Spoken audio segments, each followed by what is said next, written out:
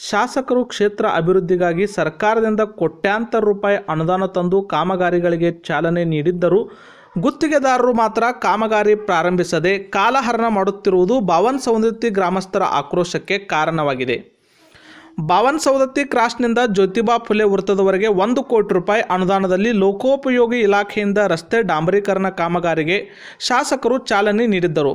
ಆದರೆ ಗುತ್ತಿಗೆದಾರರು ಇನ್ನೂವರೆಗೆ ರಸ್ತೆ ಕಾಮಗಾರಿ ಪ್ರಾರಂಭಿಸದೇ ಇರುವುದರಿಂದ ಗ್ರಾಮಸ್ಥರ ಬಹುದಿನಗಳ ಬೇಡಿಕೆ ಈಡೇರದೆ ಇನ್ನೂ ಕನಸಾಗಿಯೇ ಉಳಿದಿದೆ. ಗ್ರಾಮೀಣ ರಸ್ತೆಗಳು ಸುಧಾರಣೆಗೊಂಡರೆ ರೈತರು ತಮ್ಮ ಬೆಳೆಗಳನ್ನು ಮಾರುಕಟ್ಟೆಗೆ ಸಾಗಿಸಲು ಅನುಕೂಲವಾಗುತ್ತದೆ. ಅಷ್ಟೇ ಅಲ್ಲದೆ ಜನರು ತಮ್ಮ ನಿತ್ಯ ಕೆಲಸಕ್ಕಾಗಿ ಓಡಾಡಲು ಸುಗಮವಾಗುತ್ತದೆ. ಶಾಲಾ ಕಾಲೇಜುಗಳಿಗೆ ಹೋಗುವ ವಿದ್ಯಾರ್ಥಿಗಳಿಗೆ ಸಾಕಷ್ಟು ಅನುಕೂಲವಾಗುತ್ತದೆ ಎಂಬುದು ಗ್ರಾಮಸ್ಥರ ಬೇಡಿಕೆಯಾಗಿದೆ. ಗುತ್ತಿಗೆದಾರನಿಂದ ರಸ್ತೆ ಕಾಮಗಾರಿ ಮಾಡಿಸಬೇಕಾದ ಲೋಕೋಪಯೋಗಿ ಇಲಾಖೆ ಅಧಿಕಾರಿಗಳು ಕೂಡ ಮೌನಕ್ಕೆ ಶರಣಾಗಿರುವುದು ಸಂಶಯಕ್ಕೆ ಎಡೆ ಮಾಡಿಕೊಟ್ಟಿದೆ. ಗ್ರಾಮೀಣ ಭಾಗದ ರಸ್ತೆಗಳನ್ನು ಸುಧಾರಿಸಲು ಸರ್ಕಾರ ಪ್ರತಿ ವರ್ಷ ಕೋಟ್ಯಾಂತರ ರೂಪಾಯಿ ಅನುದಾನ ಲೋಕೋಪಯೋಗಿ ಇಲಾಖೆ ಮೂಲಕ ಬಿಡುಗಡೆ ಮಾಡುತ್ತದೆ.